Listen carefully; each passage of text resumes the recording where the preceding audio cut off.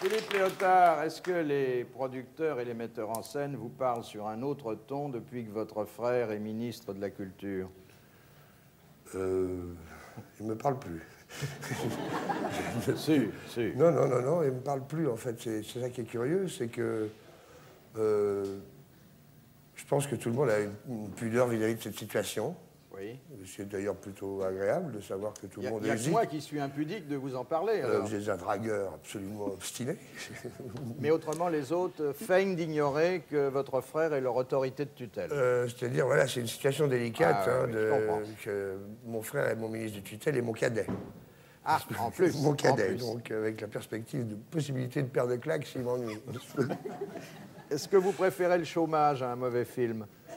Bah, Jusqu'à présent, oui. Ça va peut-être changer avec l'âge, parce que des fois, on aime bien son confort. Mais jusqu'à présent, j'ai préféré être au chômage que de faire un mauvais film. Le chômage que je pratique activement depuis un an et demi, pratiquement. Depuis que mon frère est ministre de la Culture. Je ne vois pas de machiavélisme, mais enfin... C'est une coïncidence. Coïncidence, Sinon, ça serait de la ségrégation. Oui, oui, c'est une coïncidence. Est-il exact que vous soyez monarchiste? Oui, c'est exact, oui, depuis toujours, parce que c'était euh, la position de mon père. Ce monarchiste, c'est un mot qui peut tromper. C'est euh, mon père m'a élevé dans l'idée que pour qu'il soit vraisemblable et crédible, un pouvoir doit durer et être transmis sans que les gens se battent pour l'obtenir. C'est-à-dire, il était plutôt contre la foire d'empoigne. Oui. Enfin, transmis éventuellement à des incompétents. Ouais, comme c'est le cas. Euh, Avez-vous appris beaucoup de choses en habitant durant un an chez Coluche? Ouais, beaucoup de choses.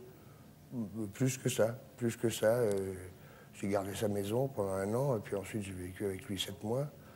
Et euh, enfin bref, la dernière phrase que j'ai entendue de Michel, trois mois avant sa, cascade, pardon, sa cascade, c'est, euh, il m'a dit, je veux que tu sois Coluche en plus fin.